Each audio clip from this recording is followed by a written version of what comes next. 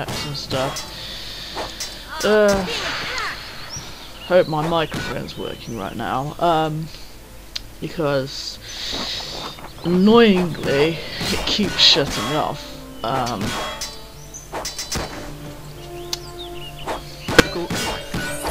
uh, sometimes uh, my computer settings just kind of audio settings just gonna say, hey, you know, let's chop off the sounds of the microphone uh, just because we want to. Uh, so, um, I have no idea if this is. I think it's recording because I'm getting a um, green light at the input bar. So, I think it's working and uh, everything's on at the moment. So, yeah, I've I've done this um, a few times. I tried to do the sound on this a few times already, uh, failing. So it's about third time lucky. So fingers crossed that my gabble is actually going to record properly this time. Yeah. So anyway, as I was saying, um, done a few LPs now. I've been LPing for about a year now. Oh yeah, um, if you hear me mention something about tin cans, uh, it's about these knights here. The ones with the shields, obviously. Um, I call them that because of the sound they make. They make kind of like a tinny sound. Um, you know, when you hit them and stuff. Uh, so, yeah, if you um, hear me mention the word tin can, you know I'm talking about the knights. So, yeah, I, I refer to both enemy and uh, uh, allied units as tin cans for uh, the knights, obviously, as tin cans. Um, but mostly I will be, um, you know, frustratingly. Uh, calling the enemy units tin cans more than the allied units because only the enemy units will really be in my way. You know, because obviously, as everyone knows, allied units are not supposed to attack each other. Well, they probably did in the past, you know, I mean, if it's humans, but with computer AI, allied units obviously don't attack you because it's more simplistic than ulterior human motives. Critical, kill. Yes, I think we get this, um, uh, this, yeah, if I didn't already mention, there's a, um, at the top there, there's a, um, counter that says how many civilians have been killed, and if it goes down to naught, that means that you've lost the mission. Yeah, I was just going to mention about that, that amulet of Yahweh. Um, you'll notice Yahweh, if you don't already know, is a another word for Jehovah. Yeah, and you've obviously heard the name Jehovah. Um, but Yahweh was actually the original version, and Jehovah is kind of like a uh, newer um, version of it. Um, newer version of the name, and basically it's supposed to kind of be in the name of God. Um, but you can see there, you think, hang on a minute, Jehovah, the name Jehovah has vowels in it, and how come that Yahweh?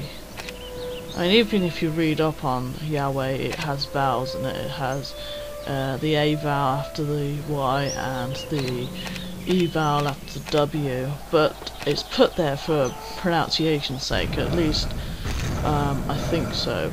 You can Google it up uh, if you're really interested in that.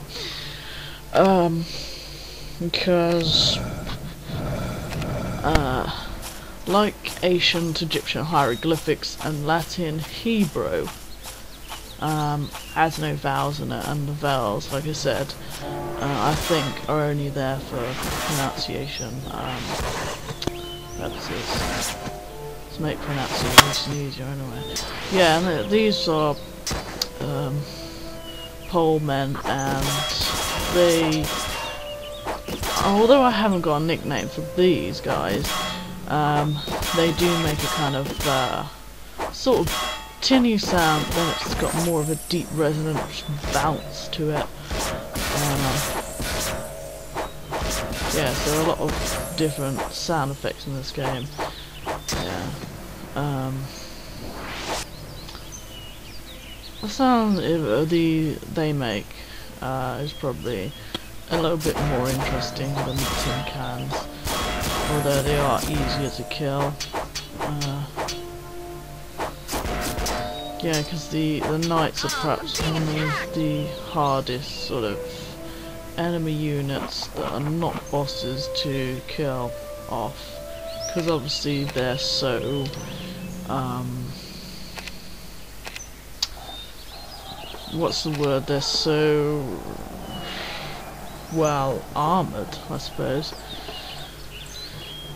Yeah, so...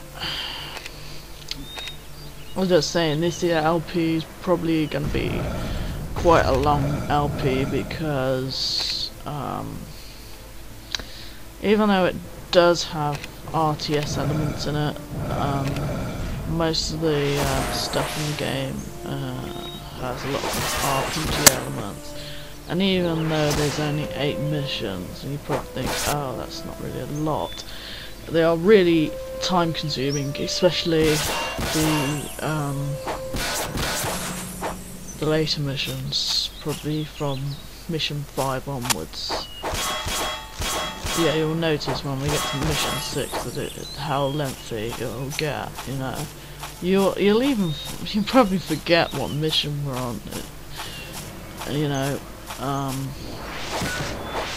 apart from the fact that I, I will put what, mission it is and what part of the mission it is um, for you. So you don't have to remember. The the only person that has to remember is me. So yeah, um, I got into LPs uh, about a year ago. My first one was, of course, Harry Potter and Goblet of Fire. I just had it lying around, you know, played it, completed it and stuff. Um, I'd uh, been inspired by uh, LPers like Chrono Gear and uh, Lord Vega. Although when I started, I I didn't know how to record uh, I didn't know what I was doing, and my videos were pretty simplistic. Uh, over the past year I've learnt um, a lot more about video editing and adding sounds and like uh, images and stuff. So um, I've learned about video quality and whatnot. Uh, so I think my videos have taken on improvement. You could probably see this if you've been with me uh, from the beginning of my LPs. Uh, yeah, so... So... Just waiting for the next bit of the missions. Mission 2 isn't over yet. You thought it would be over when we'd um, helped, you know, uh, made all the, uh, saved all the uh, civilians, or at least some of them. Um, now we have to go outside the gates.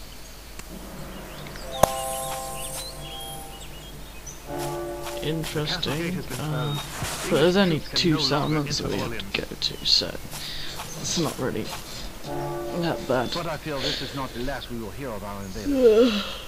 Meet me at the town hall, John. There is much to discuss. It's not as bad as later missions where you have to actually get it. several. Uh, one of the other. and also there'll be several bosses scattered around, but we've already started the boss fights really on this level.